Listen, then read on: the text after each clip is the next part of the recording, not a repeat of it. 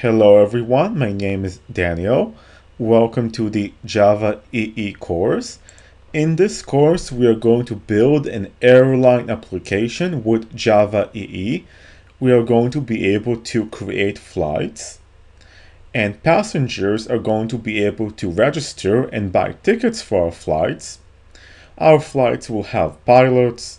There will be there, there will be an airplane associated with each flight and of course, the flights will have a destination, an origin, price, and so on. So it will be an application that mimics what a real airline application looks like. It will be similar to the kind of applications that a real airline company has. And uh, we're going to build this application to learn about Java EE. So this will be the application that we'll build and, and the purpose of working on this application is indeed to learn about Java EE technologies. In particular, we're going to study, we're going to first start by looking at the servlets and JSP technologies. Those technologies are great for, to build web applications for web apps. Then we're going to continue and look at EJB, which stands for Enterprise Java Beans the Enterprise Java Beans technology will allow us to connect our web application to a robust, strong back-end system. So connect our web app to a robust server-side system.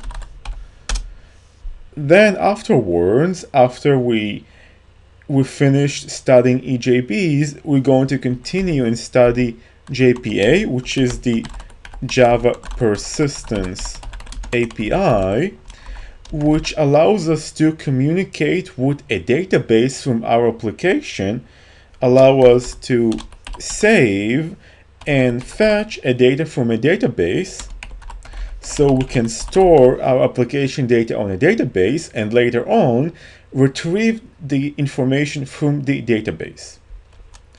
Following JPA, we're going to cover JAX-RS, which is a REST web services framework, a framework for REST, RESTful web services. And this will allow us to expose our application for other applications to connect to and use. So for example, Twitter and Facebook have a RESTful Web Services API that exposes Twitter and Facebook for other applications to connect to Twitter or to Facebook and integrate with them and build application using Twitter or Facebook services. We are going to do something similar for our application. We are going to expose our application through through RESTful web services so that other applications will be able to access our application and integrate with it through web services.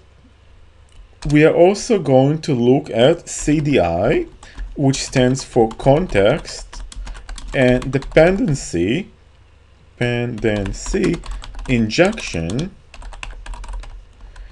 We're going to look at the basics of CDI and CDI, the context and dependency injection, allows us to get access to server-side resources in our application.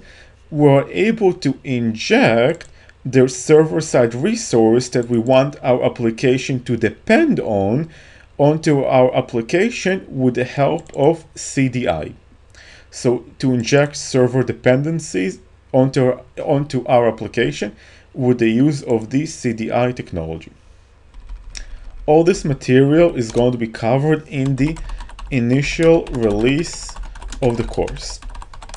Now, following the initial release, I'm actually going to expand the course by approximately, um, I'm going to add I'm going to add about five lectures per month to the course. Per month to the course so that I will cover those topics in greater depth, those existing topics in greater depth, but I'm also going to, over time, add additional topics. In particular, in the future, in future releases, I'm going to add the, I'm going to add coverage for JAX WS, which is another web services system, uh, which is SOAP Web Services. This is another web services protocol that's not quite as popular as the REST web services protocol, but it's still news and we're going to cover that in the future. Then I'm going to look at JMS. JMS is Java messaging mess messaging system. Sorry, this is uh, messaging. Okay, messaging system, and the JMS allows us to exchange in real time messages between a server and different clients. It allows us to create, send, and receive messages between a server and its clients. We're going to look at that in the future as well. And I'm going to expand the coverage of CDI. We're going to cover CDI in greater depth. Then we're going to look at JSF, Java Server Faces. JSF is a front end is a front end web framework that replaces servlets and JSP. It's it does a similar job to what servlets and JSP do, and this is a different framework that replaces servlets and JSP. There we go. So we go. I'm going to add lectures on that. Following JSF, the last topic we're going to cover is Java EE Security. This is a security framework in Java EE that allows us to create users that will be able to log into our application and they will have various rights to access our application. So Java EE Security is a framework to log in, authenticate, and identify users in our application and, and give them various rights and permissions to use our application. So this is the last topic. So to clarify, all those topics are available immediately with the initial release of the course.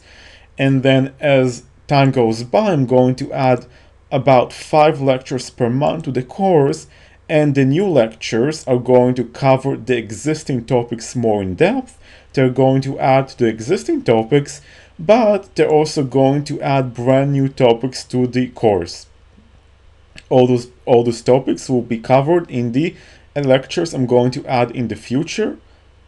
Okay, but of course, all those topics, as I mentioned, are already there, and there are dozens of lectures, and those topics, th these topics right here, are already fully covered and they're already available with the initial release of the course.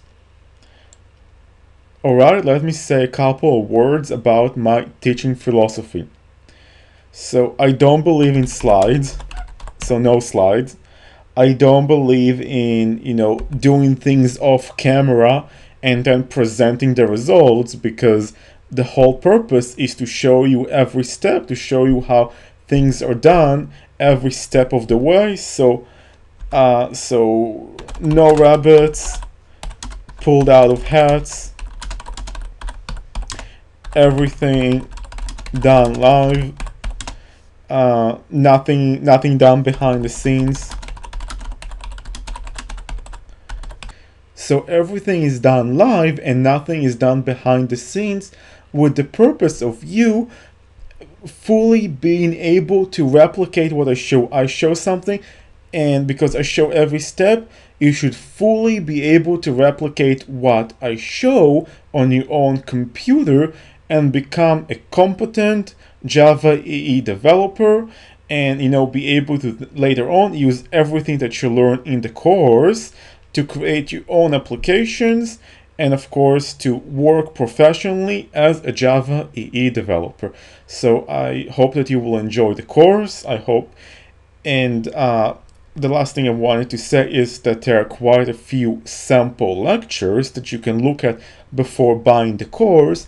So I welcome you and encourage you to uh, go through the sample sample free lectures and see how you know see how you like the course see how this course fits you know see if the course is a good fit for you. And if it does i would be you know very happy if you would indeed go ahead and purchase the full course.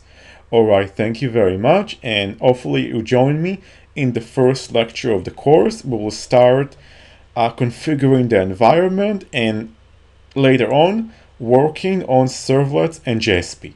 Thank you very much.